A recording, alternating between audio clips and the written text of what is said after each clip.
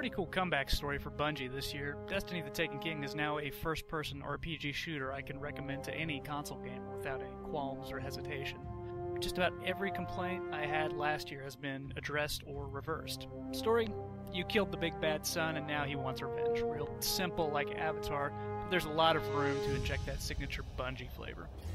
Content you've got a meaty main quest story, some cool new strikes, a raid, expanded PvP, new subclasses, and a bunch of hidden events that have brought the community together.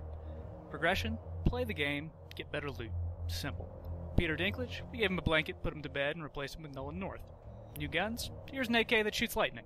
Marvelous. We're still waiting to see how things are going to shake out for future content updates and switching to microtransactions for game support, but putting it simply, there's a whole lot of game with this expansion and systems rework, making it so that there is no better time for a new player to hop in. Join us and become legend.